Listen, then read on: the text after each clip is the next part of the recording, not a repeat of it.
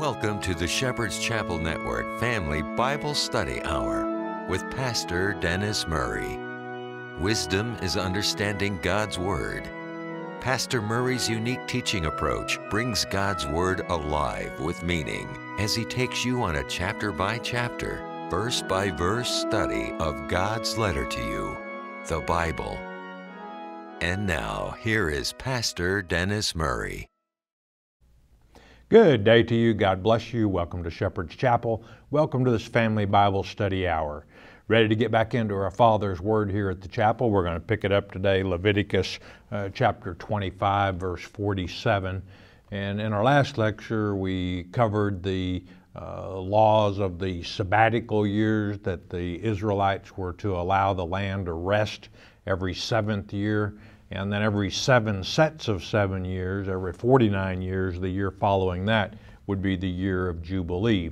You know, it was uh, the failure of Israel to observe the sabbatical year and letting the land rest uh, was partially the reason for uh, Judah going into captivity to the Babylonians.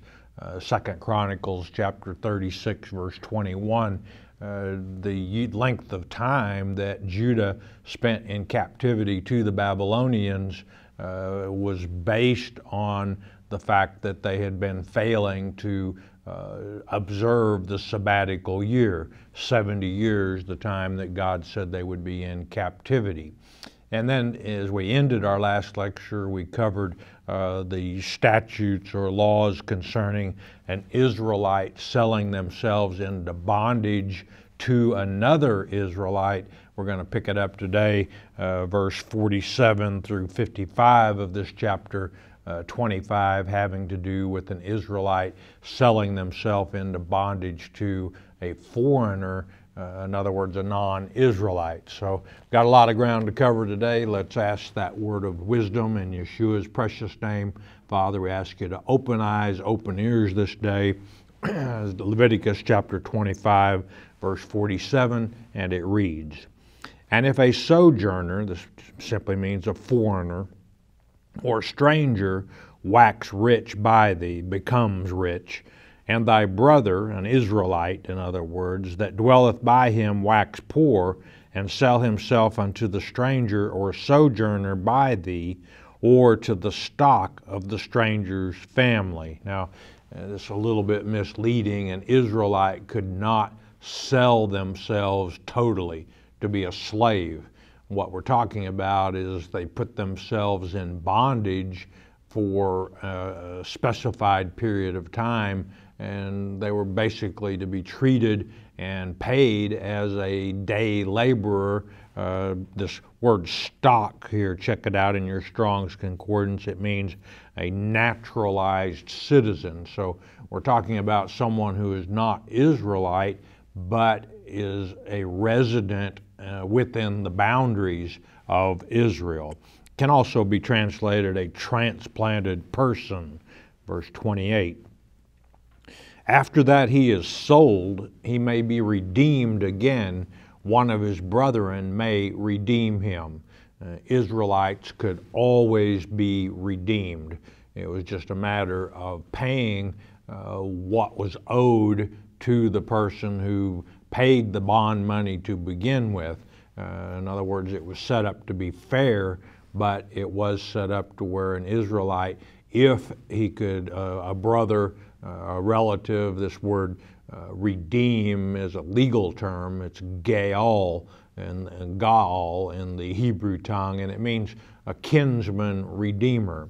At any time during the bondage, if the, the uh, redemption money were paid, the person went free. Verse 49. Either his uncle, the uncle of the person who sold themselves, or his uncle's son, his cousin, in other words, may redeem him, or any that is nigh of kin unto him, of his family, may redeem him.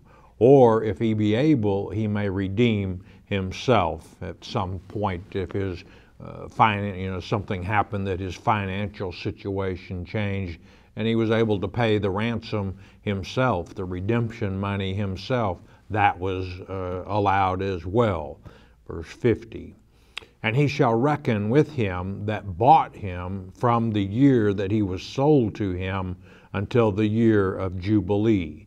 And the price of his sale shall be according unto the number of years, according to the time and hired servant uh, shall be it be with him. In other words, you calculate uh, the number of years remaining until Jubilee when the person would have been made free regardless of redemption money being paid. Uh, for example, if we said that the selling price uh, were $30,000 for uh, easy figuring, and there were uh, 10 years uh, left on, well, let's say he, the, the time was 10 years for the 30,000 till, till the next Jubilee. That would be $3,000 a year.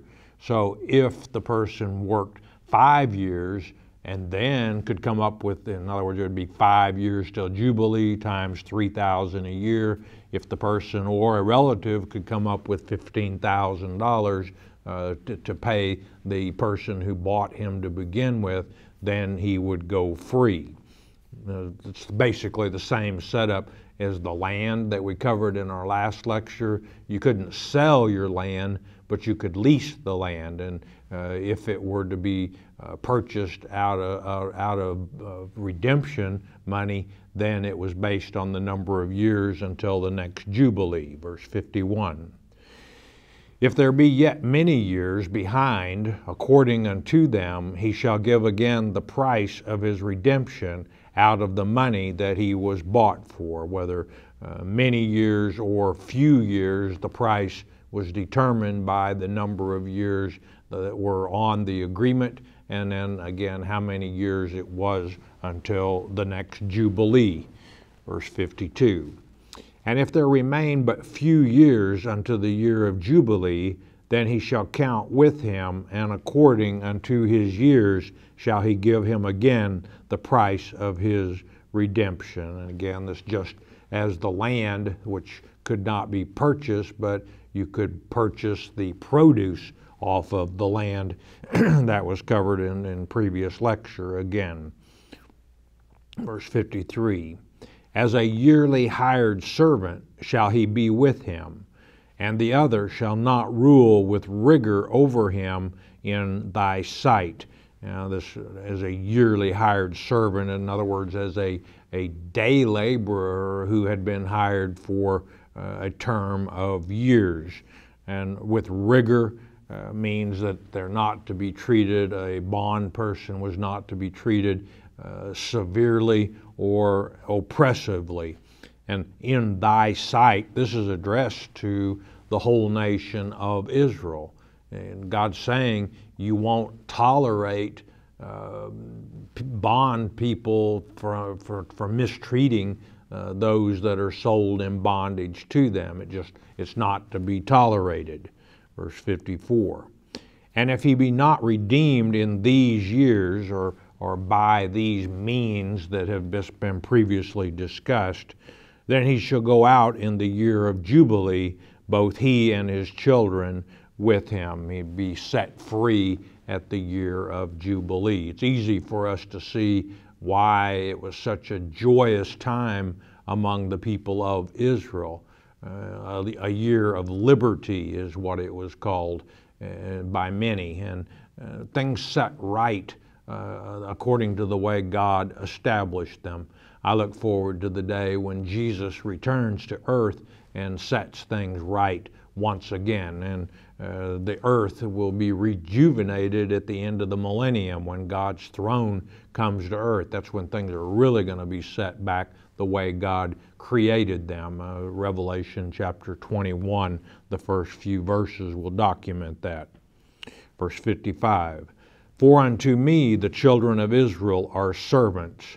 They are my servants, whom I brought forth out of the land of Egypt. I am the Lord your God and they're my servants, and therefore I can say to you, don't treat my servants uh, with severity or oppression. Um, and with that, we end the uh, law. Now, we're getting very close to the end of the law being given to Moses on Mount Sinai. Uh, God's preparing the people of Israel to move in to the promised land. Now, in chapter 26, uh, we're going to have the blessings and the curses of God. Uh, some people have a difficult time saying th- that God will curse his children. Well, uh, if you call the opposite of blessings, whatever you want to call it, but uh, it, it is cursing. And God's saying here in chapter 26, and by the way, this is a parallel chapter to Deuteronomy chapter 28. But God's saying, if you want my blessings, do the law that I just gave to, to Moses on Mount Sinai. If you don't want my blessings, don't do the law. The choice is yours. Let's go with chapter 26, verse 1. Ye shall make you no idols nor graven image. Graven image is pesel in the Hebrew. It's a, a, wood or stone carving. Neither rear you up standing image, matzabah in the Hebrew, a, a pillar such as a sun pillar. Neither shall you set up any image, this is makith in the Hebrew. It means a sculpted or painted stone in your land to bow down unto. And there you go, that's the key. Don't worship uh, rocks and sticks. For I am the Lord your God.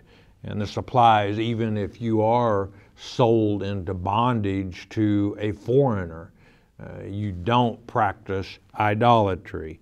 Why? Exodus 34 14. God's name is jealous.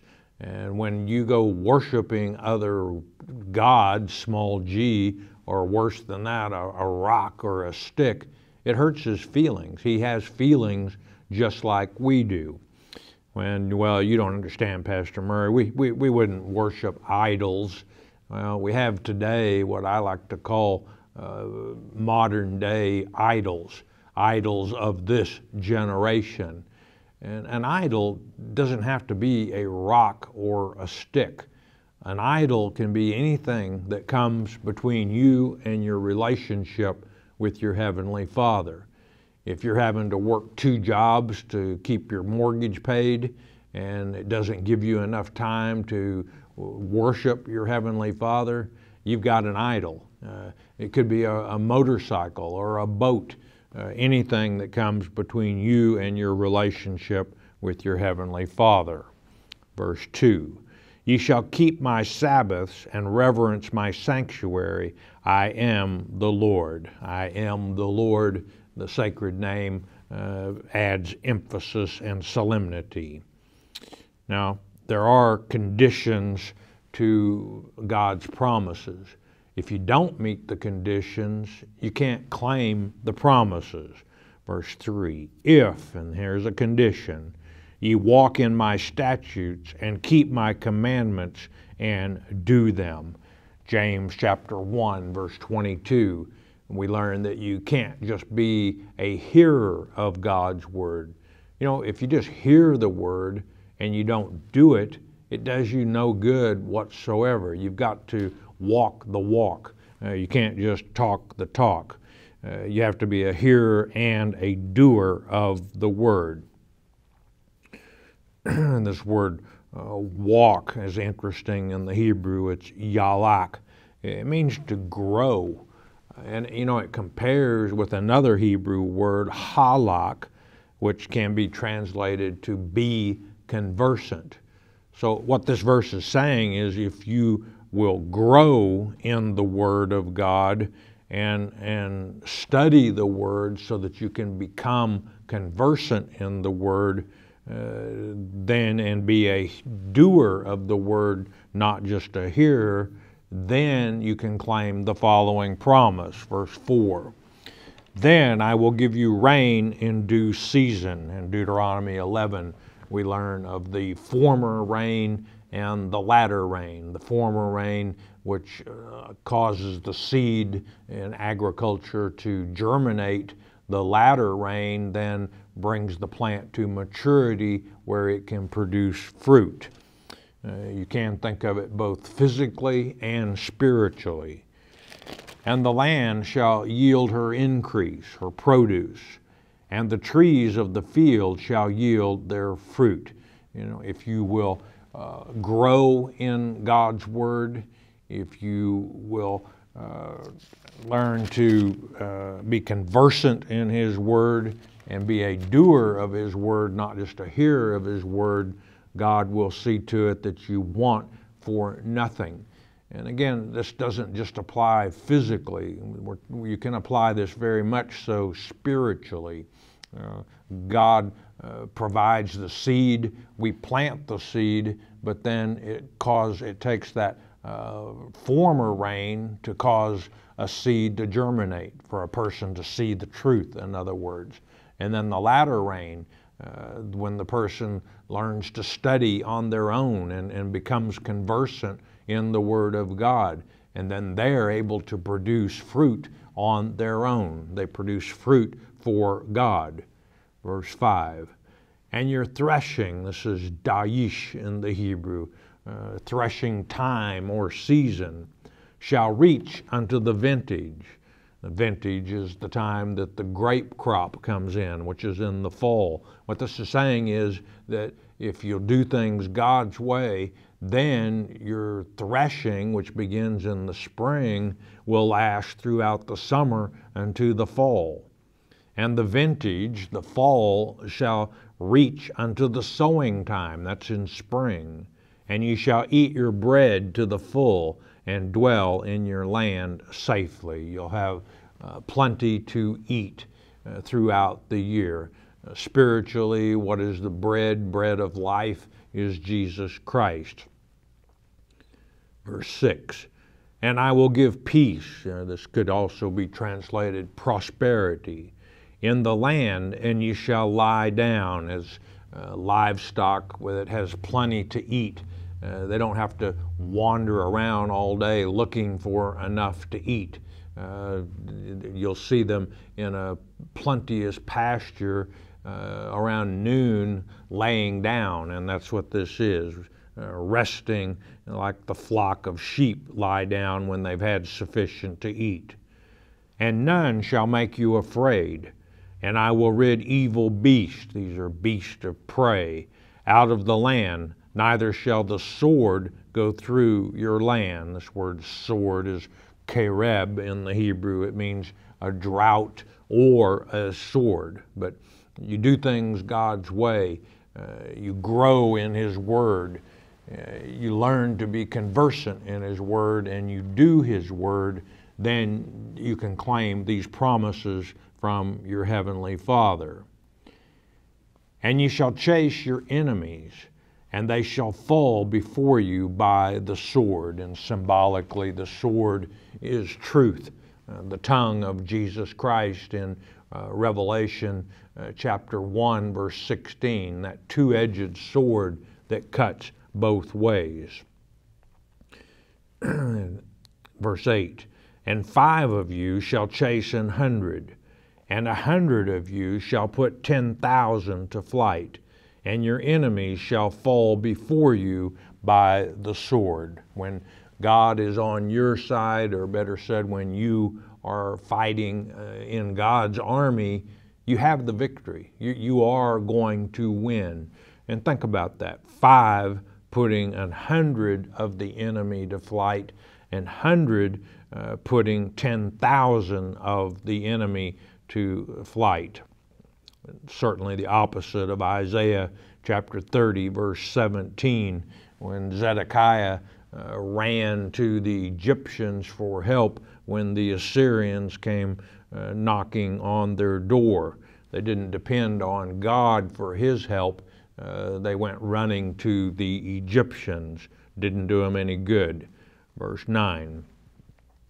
For I will have I will have respect, or I'll turn unto you and make you fruitful and multiply you and establish my covenant with you. This word establish in the Hebrew is kum. It means to make good, uh, to keep. And God always keeps his promises. He always keeps his covenants. It's, it's man who breaks uh, promises and breaks covenants. You can think of a covenant as a contract. Verse 10 And you shall eat old store and bring forth the old because of the new. Now, this is in an agriculture sense, this is saying that you'll fill your barns up, but next year when it's time to bring in the new crop, you'll still have old crops left in the barn that you're going to have to uh, eat up before you can fill your barn up again. In other words, nobody's going hungry. Look, look at the USA and Canada today. We produce grains uh, sufficient to export by the tons.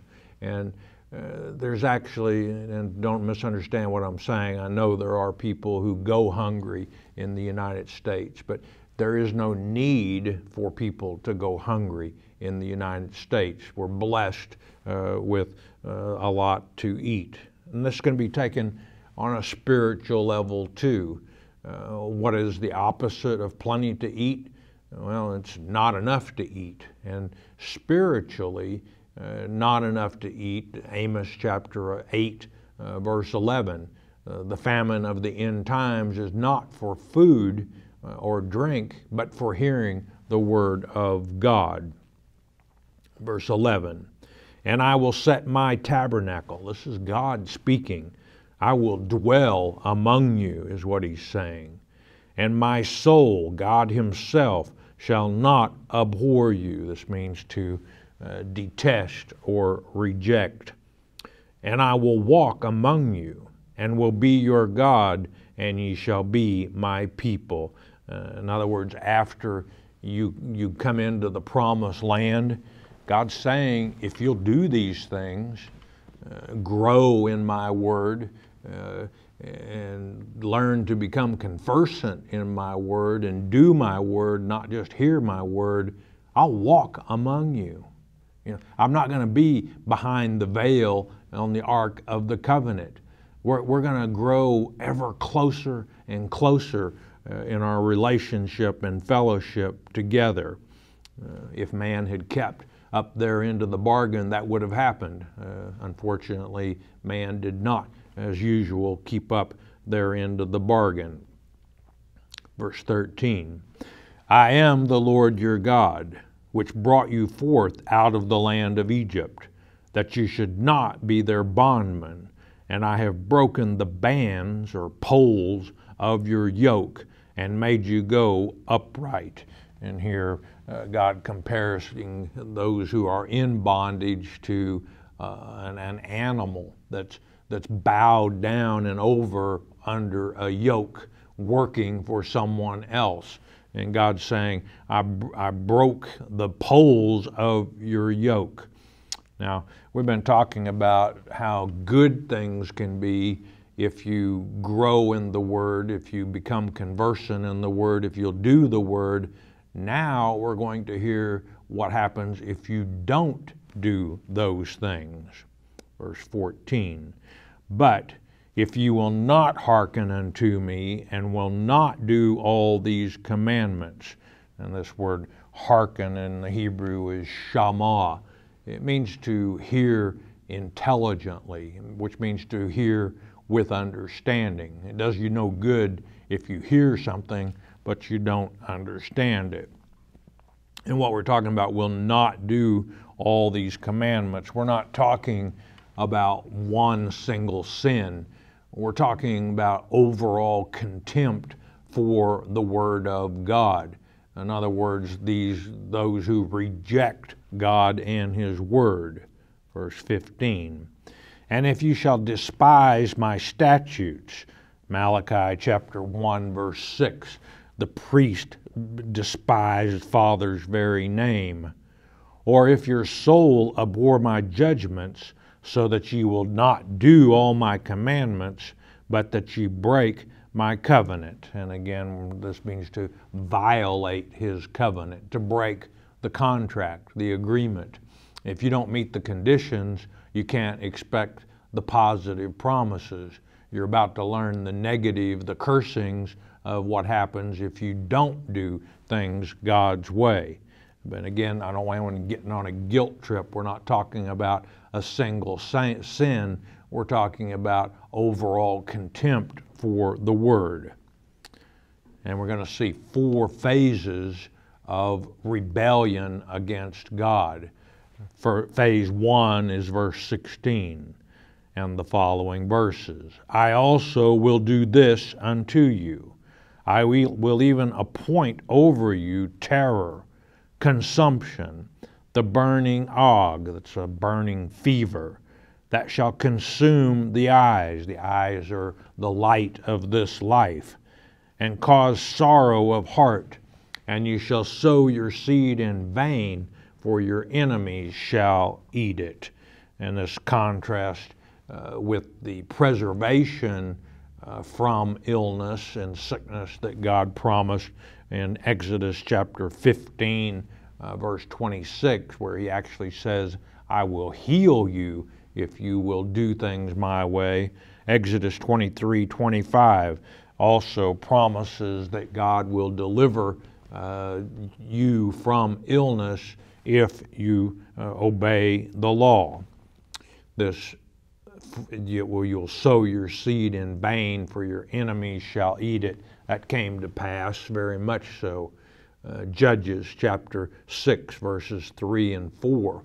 Uh, we're introduced to me, uh, excuse me, we're introduced to Gideon, who, what was he doing when we first meet Gideon? He was in a wine press trying to beat enough uh, wheat or barley from a little bit that he'd got to make some bread so his, his family would have something to eat.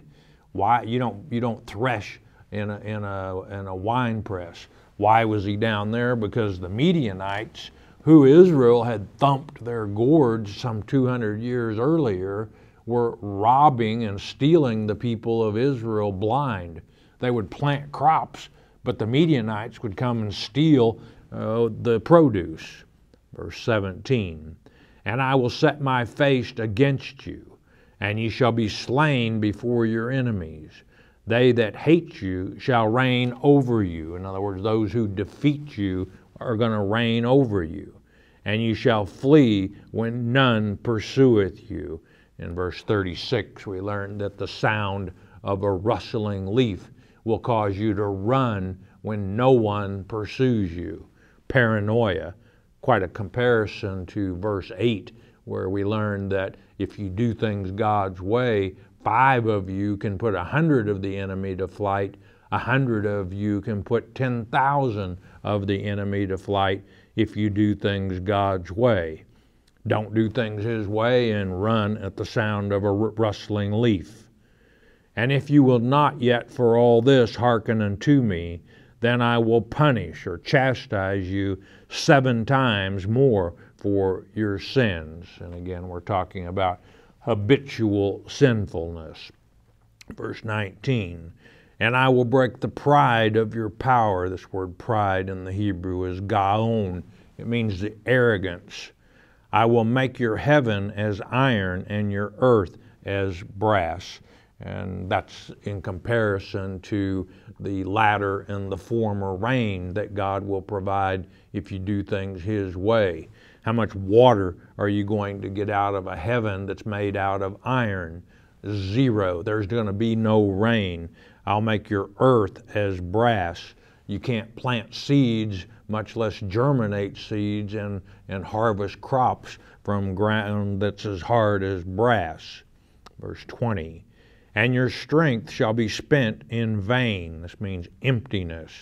For your land shall not yield her increase, neither shall the trees of the land yield their fruits.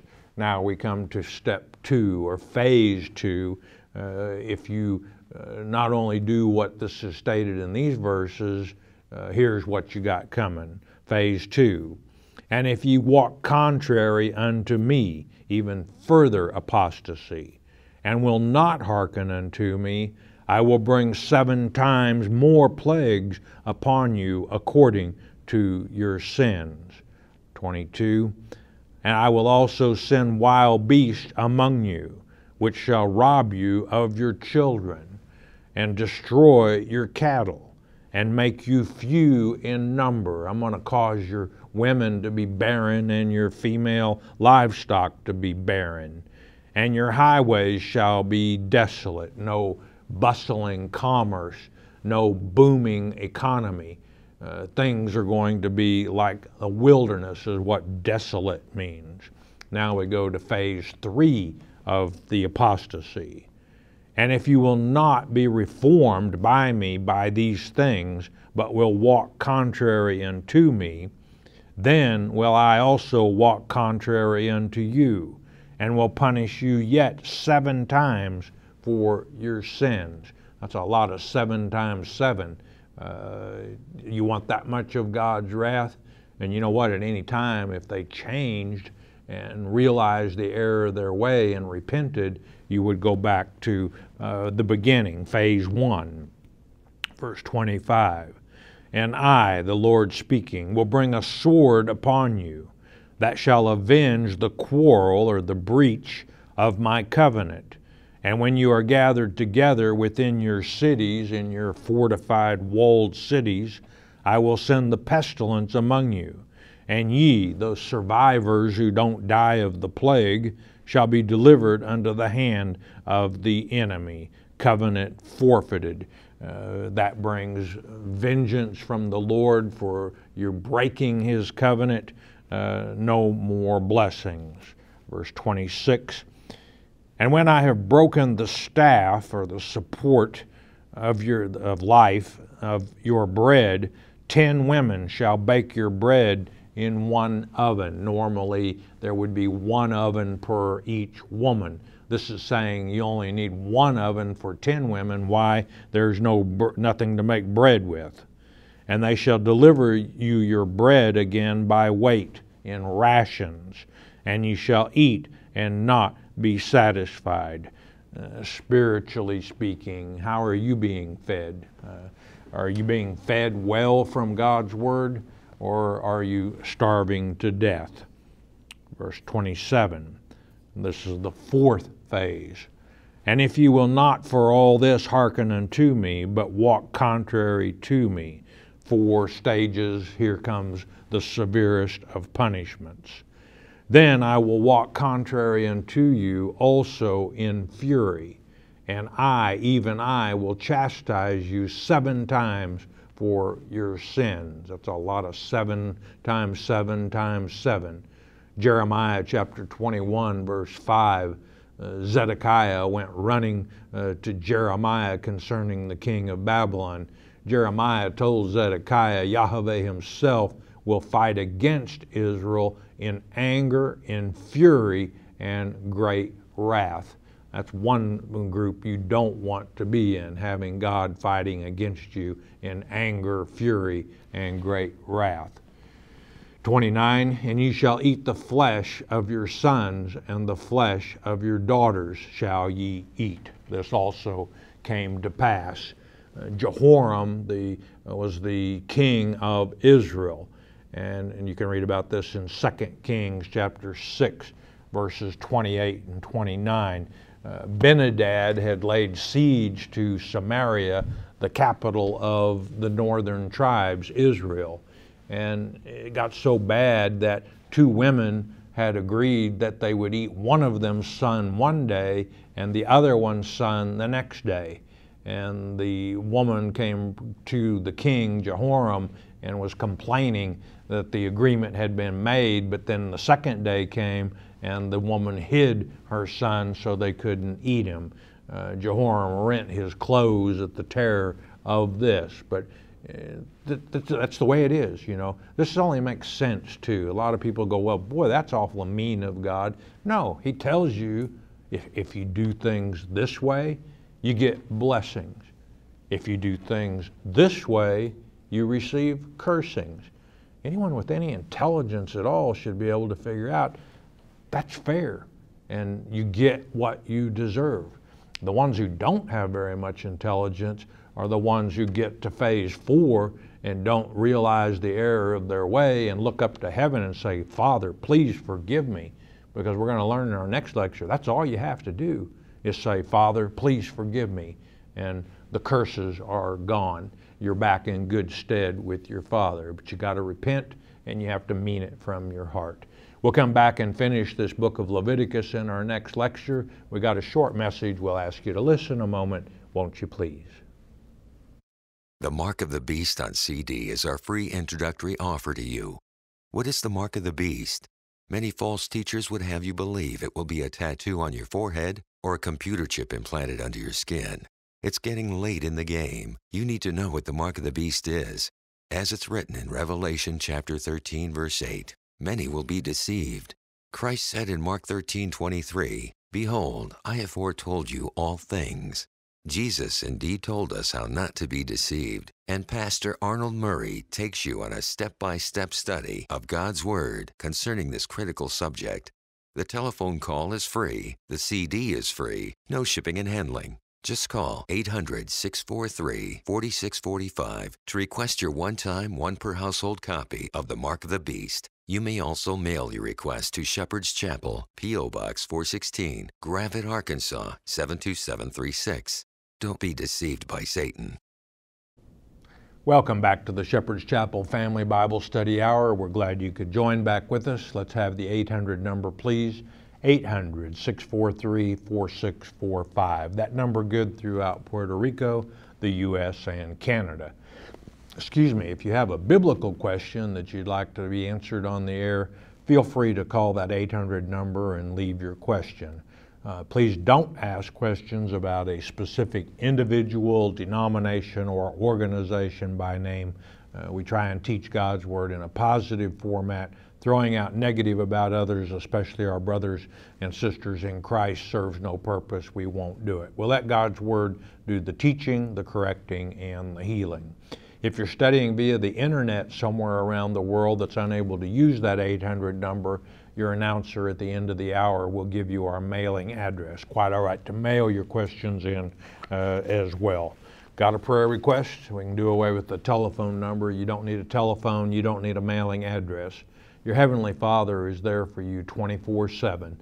I encourage you to go to Him at least once a day. Make time to talk to your Heavenly Father. You don't have to go through some fancy rigmarole of getting down on your knees and clasping your hands and closing your eyes. You can talk to Him anywhere, anytime. And uh, you know what? He, he loves to hear from you. Uh, he is your Father, He's the closest relative that you have, and you should be able to talk to Him just like you do your flesh father. We do have these prayer requests, Father. We come united as one in the name of your Son, Jesus Christ, Father. We ask you to look upon these. You know their needs, Father, uh, financial difficulties, marital problems, Father. You know if it is your will, a special blessing on each of these. We also lift up our military troops and our law enforcement uh, officers who are in harm's way around the world. Father, watch over, guide, direct protect, touch, heal in Jesus' precious name. Amen and thank you, Father. All right, let's get to some questions and see what's on the mind of folks. First up today, Mark from Oklahoma. Uh, what is the role difference between the evil spirits around us and the Kenites? Uh, why two influences we appreciate your business? Well, all make up uh, the locust army of Joel uh, chapter 1 and Revelation uh, chapter 9. They all work for Satan. Sandy in Missouri. Uh, the Lord led me to you long ago. It wasn't by accident. He knew what I needed, what I was waiting for. What a blessing your teaching has been. Well, we're glad you enjoyed the, the Bible study. Will God be disappointed in me if I don't go to the other side to try to help my family to come to Jesus? I have told all my friends and family the way to be saved. Some listen and others think I am brainwashed. I just tell the unbelieving someday they will remember my words from God. I will do what the Lord would have me do. I love them all. I pray daily they will have an open heart. Uh, your opinion, please. This has become a real problem to me. Uh, I just don't want to be away from my Lord for any amount of time. Uh, help, please. Well, and of course, uh, what Sandy's talking about is that in the millennial temple, those who participate in the first resurrection will be allowed to leave the temple uh, for a period of time to try and help an immediate family member who didn't make the first resurrection.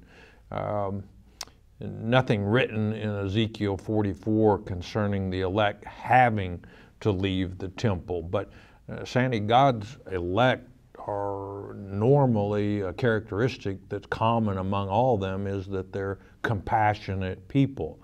I think most will want to go to their immediate family members who didn't make the cut to try and talk some sense into them. And, you know, uh, you know, if, and I'll leave it at that. Let's go with Bill in Missouri. Uh, you answered a question about a gay person teaching the word that they were not to teach because homosexuality is an abomination to God. Bill, I don't know what you heard, but you, you've never heard me say that a gay person should not teach the word. Uh, you have heard me say that homosexuality is an abomination to God, but you're misquoting me when you say that I said that they can't teach the Word of God. Nancy from Tennessee, if Satan knows about the elect, could he not decide to not call them up to testify? God's Word states that his election will be delivered up before the synagogue of Satan uh, you can count on it. It is going to happen. The elect will be delivered up. How do I know that so sure? For sure, because God's word says so. Tom in Alabama, God's sacred name, Yahweh Yuri. How did that name become if there are no J's in the Hebrew language? And Jireh translated into English is J I R E H. That is, though, a transliteration. It's not in the original Hebrew. Properly pronounced, the name you mentioned is uh, Yahweh Yireh with a Y, and it means the Lord will provide. Uh, it's utilized in Genesis uh, chapter 22, verse 14, when Abraham was instructed to take his son, uh, Isaac, his only son at the time, Isaac, uh, to Mount Moriah and offer him for sacrifice. Uh, Abraham was faithful and, and he was going through with it, but uh, God stopped him uh, just as he was about to make the sacrifice and he provided a ram from a bush thus the name Yahweh Yireh. You called it his sacred name. His sacred name is YHVH, Yahweh Yireh. I think, what is it uh, in the Companion Bible, Appendix 4? I think that's right. It has the various names of God, and there are a lot more than one uh, that apply to our Heavenly Father. Uh, Betty in Wyoming. today you mentioned two dates, 1948 and 1967. I understood 1948, but what happened in 1967? Uh, the Six Day War uh, took place uh, between June 5th and 10th of 1967. Uh, Israel's decisive victory affected land in the areas of the Sinai Peninsula, the Gaza Strip, the West Bank, and even Jerusalem. So uh, that was the event that happened in 1967. Uh, I believe 90% that we're talking that 1948 was the year that the fig tree shoot was set out. That was the year that Israel became a nation once again. It's possibly, though, 1967. Uh, we throw that in because it's a possibility. Mary in Mississippi, I need a Bible verse to give my granddaughter. She thinks she likes girls, okay? Well, if she reads the Bible and believes the Bible is God's Word, I would share Leviticus uh, chapter 18, verse 22, uh, chapter 20, verse 13 states that homosexuality is an abomination to God. Uh, some folks say, well, that's Old Testament. Well, there's New Testament scripture as well. Uh, Romans chapter 1, verses 24 through 27, 1 Corinthians 6, 9, and 1 Timothy uh, chapter 1, verses 9 and 10. Robert in Louisiana, why would it take a thousand years at the end of time when it only took Jesus three days when he was in the tomb? 2 Peter chapter 3, verse 8. Uh, don't want you to be ignorant of the fact that one day with the Lord is as a thousand years, and a thousand years as one day. That's the reason that the millennium, the thousand years, is called the Lord's Day in so many places. Uh, will it be a thousand years our time and one day in the Lord's? Well, we'll find out. Carol in Florida. How close are we to the sixth trump? I know we are in the fifth trump, that's correct. Also, what trump do the two witnesses come? Now, the two witnesses come before the Antichrist, just before. So they'll come at the end of the fifth trump. Uh, the, what happens when the sixth trump sounds? Uh, the Antichrist is here. Again, the two witnesses, Revelation chapter 11, uh, tell us that the two witnesses uh, arrived a little bit before the Antichrist. Peggy from Alabama, I sat under your father's teaching for almost 20 years. Well, God bless you. Thank you for keeping him alive through videotapes. Without the two of you, I would be ignorant and totally deceived. Thank you. Well, you're welcome. We're glad you enjoy studying the Word of God. My question is keeping cash at home a mistake? Uh, will it be useless in a, sh- a short time from now? Please help me know what to do. Well, the, the one world system, you can be assured, will establish their own uh, monetary currency. Uh, you see telltale signs of that in the euro, which is a common uh, monetary uh, currency for a block of nations in Europe. Uh, I'm not saying that is the one world system, don't misunderstand. It's a type, though, for sure. Uh, keeping money at home is probably a mistake, number one. If you keep everything at home and somebody breaks into your house and robs you, uh, you've lost everything.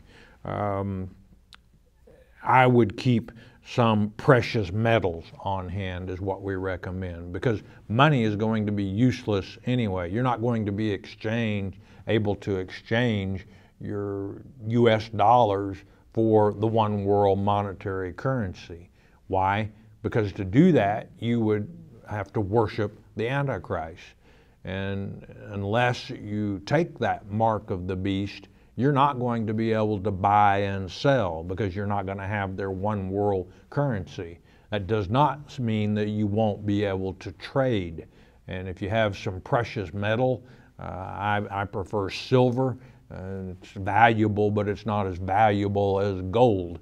Um, my point is, it would uh, be hard to uh, give someone enough gold to go get some groceries for my family, but silver, that's another story. And then you should also have some uh, non-perishable food on hand, and not only for the tribulation of Antichrist, but if you had a, if you're in a city and you had a truckers strike for two weeks, uh, how much food would be on the shelves in your local grocery store? Probably very, very little. So always good to be prepared. Brian in Pennsylvania. Greetings. Sorry uh, I don't know what you're talking about there. I've developed another question during my study in Revelation chapter 18. Babylon the Great is fallen, uh, and the merchants mourn because no one is buying their goods. Verse 11. The chapter goes on to reveal their merchandise and grief, verses 12 through 19 In verse 23, it states that the merchants were the great men of the earth. With the use of the term great men connect the merchants of the modern day descendants of the Geber? No, that you're, you're misunderstanding. There, there are no modern day descendants of the Nephilim, which are called Geber in the Hebrew tongue. Uh, God destroyed the first batch of them with the flood of Noah's time. There was, however, a second influx of the fallen angels as early as Genesis chapter 12, where they're called Canaanites, but they were the ones that were responsible for the giants of David's time. Goliath, he was a big one. Uh, what was God's plan to destroy the Geber, the descendants of the fallen angels, the second influx? the sword of Israel. There are no modern day Geber. Great men simply means uh, they, they're well thought of and prosperous. George in Rhode Island. How should one observe the Sabbath? I've heard pastors, preachers, and priests tell parishioners to observe it, but not one has yet to tell the assembly or listeners or viewers how. Do we pray and read the Bible all day? Do we cook all that day? Do we bathe, shave, work in the garden? What do we do? Question. All right, well, uh, George, Sabbath means rest. And here at Shepherd's Chapel, we teach that chapter 4 of the book of Hebrews is very clear that Jesus Christ is our rest. And uh, we don't put our rest in Jesus Christ one day each week. We put our rest in Jesus Christ seven days a week. And uh, he became our high Sabbath, 1 Corinthians chapter 5, verses 6 and 7, where we learn that Christ became our Passover. Yogish in Georgia, may God bless you and all your staff. Thank you for remembering our staff those that believe in the rapture and they pass away before the actual appearance of the Antichrist, will they not have to prove themselves at the end of the Lord's day when Satan is re- released a short season? Isn't it possible that during that season, when Satan is released, those rapture believers who are good to go into the eternity may be tempted to follow him since they would have in the flesh when he was upon earth. Those who uh, pass away believing in Jesus Christ uh, appears in the, uh, they are good to go into the kingdom of God. That's what God said. I'm okay with that. Uh, Candale, I believe, in Georgia. when my daughter was on life support and out I was out of town, I didn't have my vial of anointing oil with me. And I bought a much larger bottle and asked Father to bless it. There is way too much oil just to pour out. How may I use it and to not be disrespectful? Or must I pour out the large bottle? Uh, my daughter lived, by the way, praise the Father. And I say, Hallelujah. Uh, it sounds like mission accomplished uh, with the oil. Uh, it's not the oil, of course, it's the, the power is in with our Heavenly Father. There's nothing wrong with disposing uh, of anointing oil that has served its usefulness. Uh, oil does go bad after a period of time, and there's nothing disrespectful about pouring it out. I like to pour it out uh, in, on the ground. Um, but I, I, would not use uh, oil that you have asked Father to bless, anointing oil, in a common purpose, such as uh, cooking or something of that nature. That I think would be disrespectful. And that's my opinion. Don't ask me to document that. Uh, uh it's not written. Irma from Minnesota, after listening to the CD about most asked questions about the thousand years that's called the millennium, is that the millennium could is it that the millennium could only be one day according to the scriptures in 2 Peter chapter 3 verse 8? Yes, and uh, that is why uh, the thousand years is reference to uh, the Lord's day in so many places. Uh, was your father a modern day prophet? I believe he was. Uh, he would not have wanted anyone to, he did not claim to be a prophet. Uh, he would not anyone, he would not want anyone to refer to him as a prophet. Urim and Thummim, what is that talking about? It was kept in a pouch. Are they considered an idol? What are their purposes? Well, Urim and Thummim were not idols. They were uh, a means for the people of Israel to inquire of the Lord when they had major decisions to make. Urim, by the way, if you translate it, means light. Thummim means perfection. And when Israel were, for example, they were considering going to war, uh, they would consult the high priest, would reach in the pouch and pull out, and where they were able to determine whether God's decision was yes, go to war, or no, don't go to war. Uh, how that is exactly is not certain. What is certain is that the high priest did inquire of the Lord using the Urim and Thummim. And I am out of time.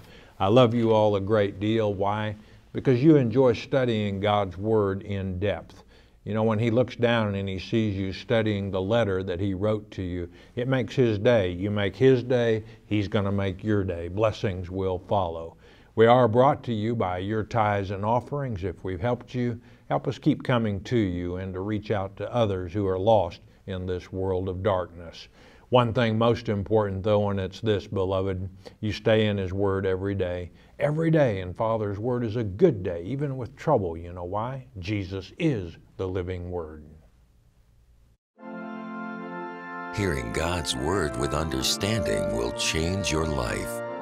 We hope you have enjoyed studying God's Word here on the Shepherd's Chapel Family Bible Study Hour with Pastor Dennis Murray. If you would like to receive more information concerning Shepherd's Chapel, you may request our free introductory offer. Our introductory offer contains the Mark of the Beast CD, our monthly newsletter with a written Bible study, a CD catalog, and a list of written reference works available through Shepherd's Chapel. To request our free introductory offer by telephone, call 800 643 4645 24 hours a day. You may also request our introductory offer by writing to Shepherd's Chapel, P.O. Box 416, Gravette, Arkansas 72736. Once again, that's Shepherd's Chapel, P.O. Box 416, Gravette, Arkansas 72736. We invite you to join us for the next in depth Bible study each weekday at the same time. Thank you for watching today's program, and God bless you.